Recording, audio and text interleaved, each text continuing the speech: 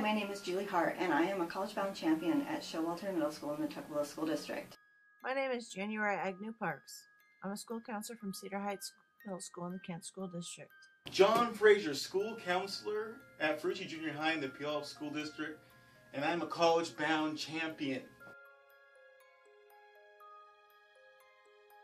We have been able to sign up 100% of our eligible 8th graders. I've signed up literally hundreds of students. As a district, we are 100% uh, signed up, which is great.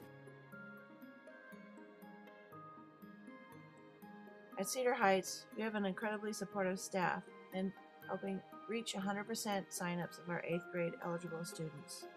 We've done this by pre-populating the scholarship application form and handing it out in advisory classes. It'd be great that if they can write it on their hand because we know that once they leave our building, they're most likely going to forget.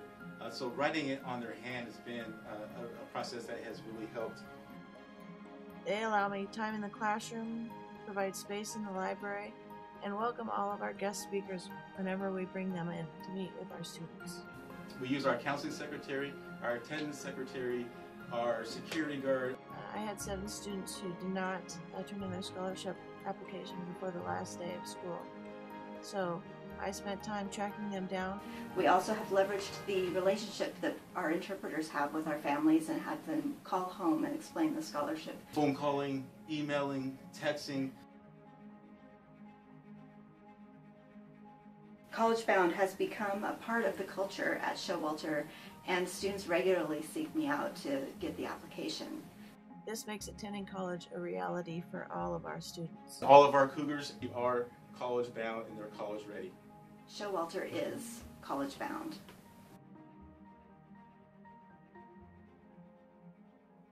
Never underestimate the determination of a school counselor.